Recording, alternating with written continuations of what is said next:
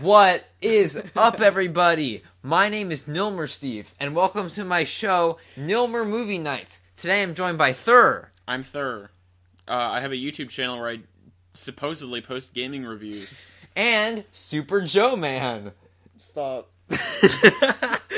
I'm Joey. Please subscribe to his channel where he does high quality 3DS Please. unboxing videos Oh, and Subscribe. graphing calculator tutorials.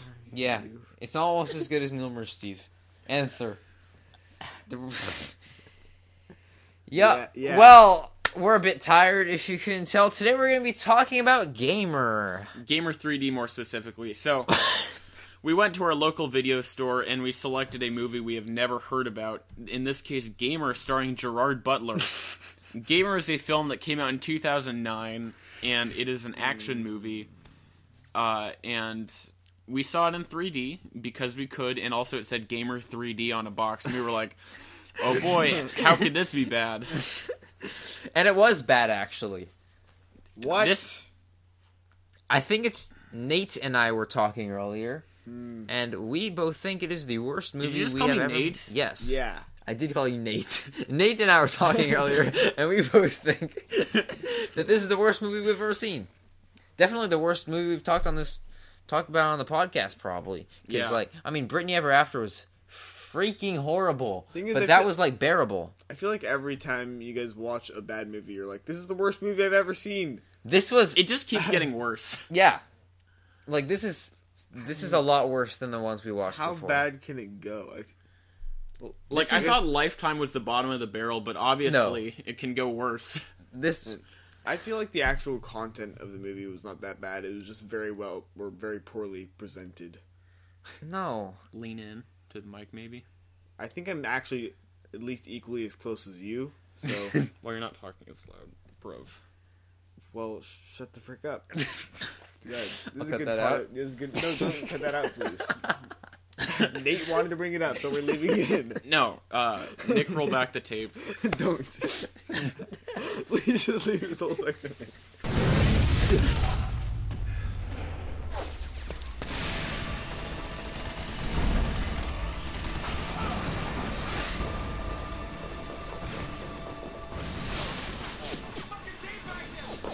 I don't know how it how it was worse than a, a, a lifetime original event, but it somehow was.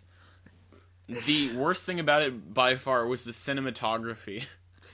Yeah, yeah, I I can agree with that. Uh, See, Yeah. let, let me let me talk to you about something real quick. So the acting was actually fine. Like it wasn't great, but it was fine. It had Terry Crews in it. Terry Crews is a good actor. And it, Discount carry.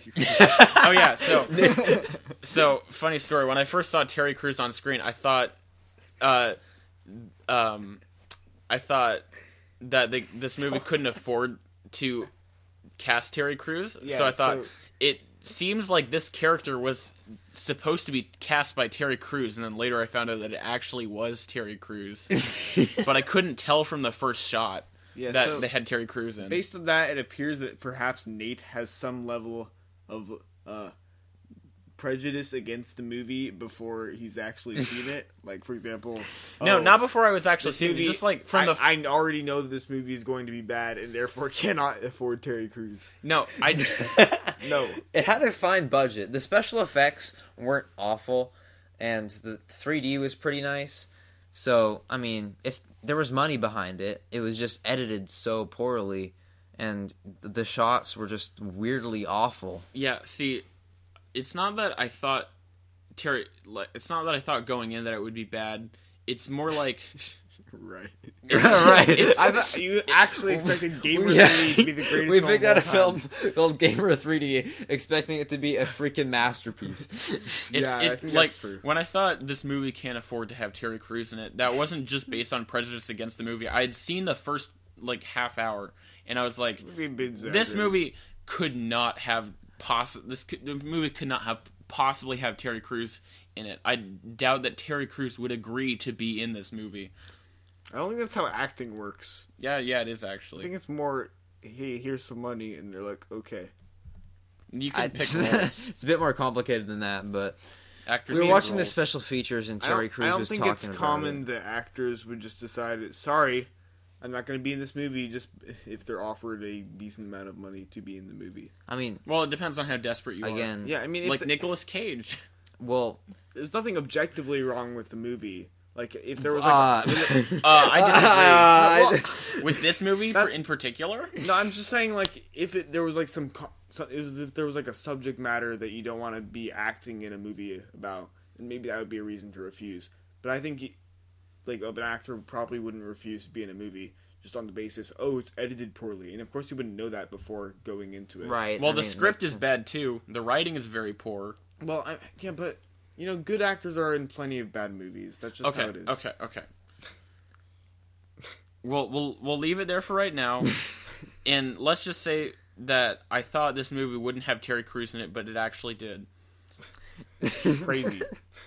So the actors in this movie are actually all right most of the time. I'd argue that Gerard Butler isn't great in it, but He's fine. He's tolerable. like sometimes he like so he's Scottish, I think, but he fakes an American accent, and sometimes he does it well, and sometimes he just doesn't do it well, and it's kind of inconsistent and kind of annoying. Also, I did not notice that. did you notice this? Nah. Well, I, I mean, I didn't know he wasn't American for sure before watching like the Oh, I special didn't either. features. So you know, he did it convincingly. Well, I'm not gonna If you- say he had a bad performance. if you thought he was American the whole time without doubting it, then how was it that Well, I just well, I just heard his American accent be inconsistent, and then I was like, maybe he's not American, and then later I found out yes, he was in fact not American. okay? Anyway, some of the actors in this movie aren't great. Like that one girl. I I don't remember any That of the characters' girl? names because they're terrible. Um, oh yeah, that one girl. that one girl. Yeah, I know who you're talking about. Yeah. Yeah. So not everyone's great, but the main characters, they're Are fine. serviceable. They're fine. Terry Crews is all right. Yeah. I mean, which is to be expected. I just like to mention that there was this one scene in an elevator where there is a woman whose body is being controlled by an obese man in an apartment, and opposite the Uh, elevator there is a there's Terry Crews, and then two people two people enter the elevator, and they're on opposite sides of the elevator. No, two people enter, and the two people are in the middle, and then Terry Crews and the girl are on the opposite sides of the elevator, and looking at each other, and the two people in the middle are kissing. They're just making out. yeah. So Terry Crews pulls out a knife, and then the girl who's being controlled by the obo- obe- bleh, Obese. obese man in the apartment is like, "Do it." She she whispers, "Do it," and then ASMR right there. and then Terry Crews stabs both of the people. Actually, he stabs one of them, and then he snaps the other person's neck Twice. twice. No, only once. Well, oh yeah, right. He snaps. No. No, Gerard Gerard, Butler, Butler snaps- snaps Terry Crews's neck twice, one in each direction. They're skipping ahead. Want to explain like what the plot is about? Okay, at all? so the plot of this movie is that um, uh, gamers, gamers. yeah, play video games. There's this game called Society. Yeah, we no. live in a society Okay. where people have sexual intercourse and get naked. I'm Just not like totally sure what it's on the about, street, but so- it's like life but edgy. I don't. so there's this guy named Ken Castle, and he made this game called Society, where he can control real people with n- neurons. He can control their neurons with nanotechnology. Yeah, it's very sciencey movie. and then people can control their bodies and be whoever they want to be basically. And then he made a new game called slayer where basically he takes the bodies of prison inmates and then he lets other people control them in a war zone. And if you get through 30 matches without dying then the prisoners get set free. I would say the root premise of the film is somewhat similar to Ready Player One in that there be.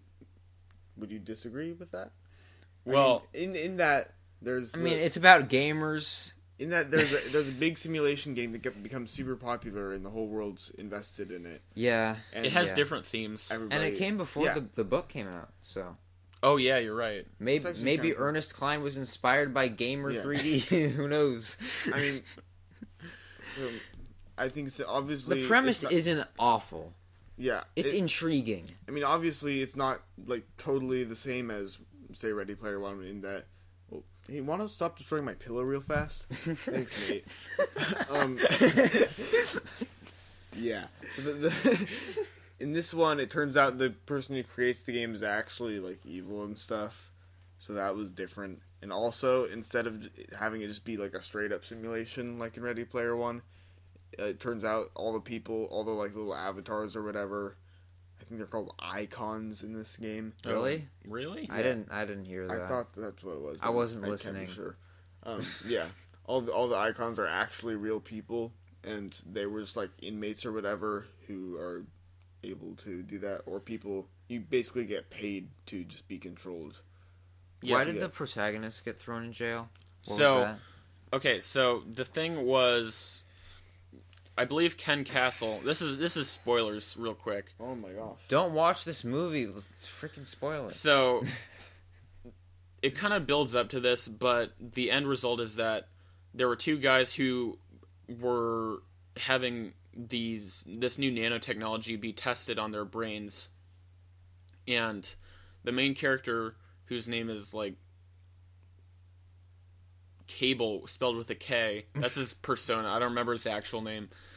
Um, he gets mind controlled in a room and Get off your phone.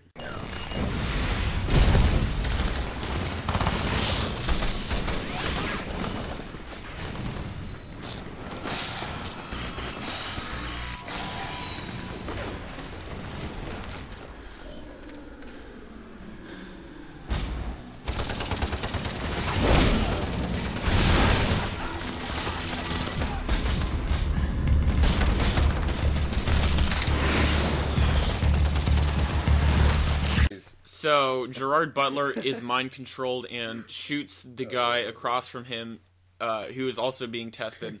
shoots him in the head, and then is imprisoned for first degree murder. So after Gerard Butler gets imprisoned for first degree murder, Ken Castle creates Society and gets a bunch of money off of it, and then he creates Slayers, and then uh, Kable volunteers to go and be controlled, and he becomes like this world superstar, being controlled by gaming megastar Simon, last name here. I don't remember his name Yeah, but he's like 17. So what happens is, um, on like the 28th round, before, like two rounds before he would have been set free, Ken Castle wants to kill Kable and make it so that he doesn't succeed for some reason. It's never really told why he wants to do this. And then Kable escapes because, I don't know. And then he finds his wife, who's a society slave and then they escape, I guess. And then he confronts Ken Castle, who turns out can control his brain. Hmm. And then he forces him to almost stab his wife and child, but then Gerard Butler's like, nope, and kills him with a little help from a character two, from two characters who we didn't even know were on Gerard Butler's side or actually know existed before this time. Wait, what? Remember when he didn't stab him? That was because the two guys who were in the bleachers were like controlling, who were like able to Really? I manipulate thought that. that was Simon. That wasn't Simon. Well, no, Simon was controlling him to do that, but then Two guys. the were two the guys ones- in the bleachers were manipulating him so that he was even able to resist the urge of Oh. Ken Castle. I And we didn't didn't even know that there they were characters at that point. This movie sets things up so poorly. It's ridiculous. Cool, cool. like there's this there's this point where there's just like this prison yard covered with white sand and then like we don't even know if it's real and Kable sits down on the ground and like takes a bunch of the white sand into his hand and then suddenly this guy shows up and starts speaking to him in whispers and we don't even know what he's saying yeah. The the sound mixing is just weird because like a lot of the dialogue, especially early on in the film, is just inaudible and doesn't make sense in the context of the plot. Really, as far as I can tell. it's Whatever. like they didn't want to compress them and make the the action sounds like the same the same like volume as the talking Yeah. it's dumb Yeah. there's just like so much non-diegetic footage that doesn't really m- seem to make much sense. Oh yeah, so maybe I need to rewatch Gamer because They- it's too complicated and artsy for me. But there's this one transition between Kable and Simon where Kable just like finishes shooting a guy, and then it transitions to a woman making a sandwich, and then it transitions to Simon. yeah, what the frick was that? It's just a really quick sandwich making montage, and then it just it just ends. yeah. Do you think it was um, pistachio butter? Oh, Oh. You know, now that I think about it, that makes sense. Isn't that clever? I think Gamer's actually a masterpiece, Yeah, there you guys. go, dude. Yeah. But that happened before he asked the guy for pistachio butter. That was foreshadowing that he was gonna ask for pistachio butter. Yeah. Okay. So we for for a moment we thought Gamer was smarter than it actually was, and then we were like, nope, never mind. I don't So- know what you're talking about. It's very smart. So there's this guy from the government who wants information out of Simon, and then Simon's like, "Could you make me a pistachio butter and jelly sandwich real quick, please?" And it turns out we actually saw the woman making his pistachio butter and jelly sandwich earlier on in the film, or maybe it was just like Simon asking for a pistachio Does it butter and jelly frickin' matter sandwich. though? It's important. No. Yeah, it's important that he really likes pistachio butter and jelly it's a, sandwiches. It's a good character detail. One Why of- is one it of the few we important? get- Why is it? A good, why is it a character detail? Because we don't have anything else. Other than the fact that he likes pistachio butter. Yeah. and jelly sandwiches. Oh jeez. Okay. Anything else? Oh yeah, I have plenty more. We haven't even talked Well, no, properly bef- about the before we even move on to the cinematography. I mean, and the editing and all the all that good stuff. Anything else about the plot? Yeah, they I- introduce characters and then kill them off When willy nilly. There's this conversation where a guy talks like in a Skype call to Simon, but then the guy the his footage is heavily edited, so it's obviously not in real time, but somehow they're still speaking in real time. I don't think that it was meant to be heavily edited. I think that was meant to be like, oh, the connections being. Well, but no, he was like repeating things and stuff. yeah, that he wasn't actually repeating things. I think that was the connection being waxed. No, but That- his like head was like, mo- his body was moving, and he was just repeating. I can't. I don't know how to describe it, but it, it didn't make any sense to me.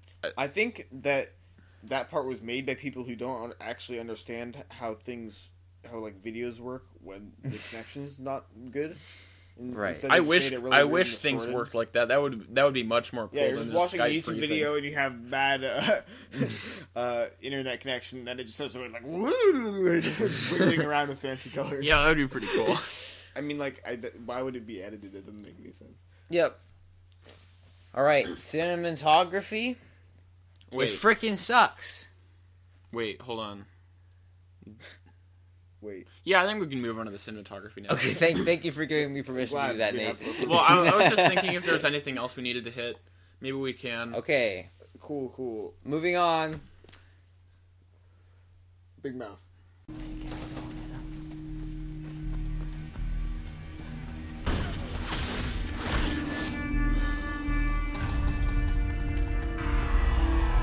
Okay, so half the shots in this movie don't make any sense. Like you can't even tell what's going on half the time, and it's ridiculous.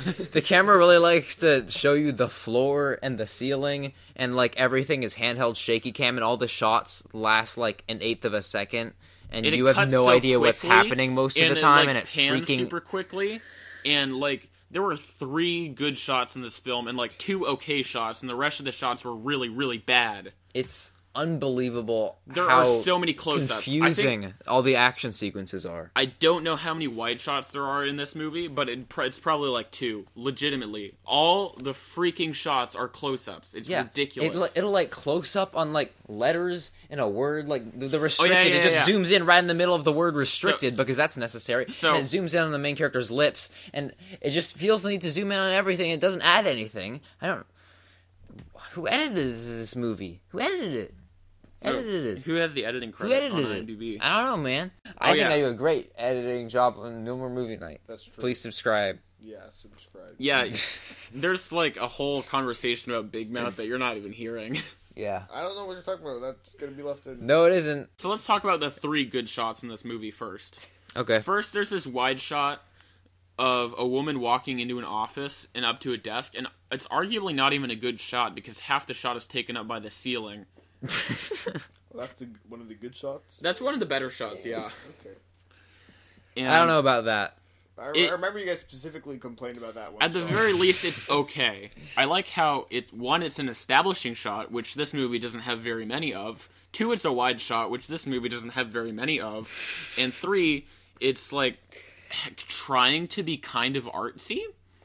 I mean, this whole movie is trying to be kind of artsy because everything is like out of order, like the frickin' sandwich, Actually, for no reason at all. I'm, now that I'm thinking about that, I think it's more like someone is making it for him because he asked for it before he was arrested, and then they were, and then he was like, Whatever. There was like a shot at, at the very end of the movie that was repeated like 20 minutes into the movie and it makes no sense. Anyway, back to the shots.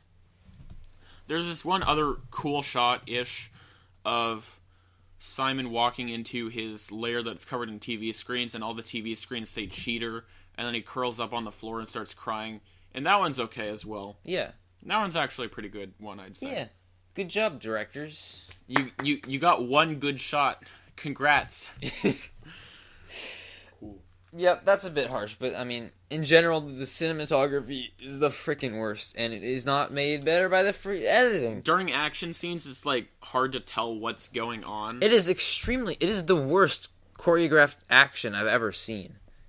Like I- that's I not wouldn't say- exaggerating. I wouldn't maybe I maybe wouldn't say that that like the hand to hand combat was poorly choreographed, but like the shooting, uh, which yeah. is makes up most of the action in the It's movie. so hard the to tell what's opening action sequence, in which, by the way, um, the main character or someone teabags a dead guy because it's a video game. oh yeah, that that's really cool. That never comes back by the way. Like it's never referenced the fact that the guy is teabagging another guy just because it's a video game. That's just like that's it. Yeah. Anyway, I just found that funny, but like all the the gunshots, there's just like, and then when he stabs a guy, it has to show five different shots that are just like so rapid fire and unnecessary that it's.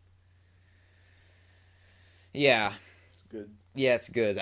That's the word I was looking for. It's so shaky. Like sometimes there are just entire shots that are like that's like a second long where it's just moving the camera around past things and you can't tell what's going on or why the shot is even put there. How long is this movie? Does it even like have a runtime of over like an hour and I'll look it up. You keep talking. It didn't feel very long. yeah. I mean, I was really looking forward for it to end because I was in such a rush to record the Nilmer Movie Night. But There was like one shot during an action scene where Kable is punching a bunch of dudes, and then it pans to above hit like a top down shot. And since that was a wide shot, it was cool, but it only lasted a half a second. Uh, I'm not even exaggerating. It only lasted a half a second. He didn't even punch anyone during that shot, so that's too bad. fun fact: this seventy-four percent of Google users like this movie. Seventy-four percent of Google is dumb. Like it. No, This I movie didn't is like the twenty-eight movie. percent on Rotten Tomatoes, but it does Watch not deserve movie. a twenty-eight percent on Rotten Tomatoes. no, it's an hour and thirty-four minutes. There you go. Wait, wait. Problem solved. I got it, Nate. All right, all right. Oh, there- So not pretty, pretty average length. And pretty average. It's like they had to pad it out to 90 minutes so they could be like, oh, okay, finally we're done. Savage. so they just threw in a bunch of non-diegetic stuff that doesn't make sense. Nice non-diegetic usage. Yeah, it's a, it's a term.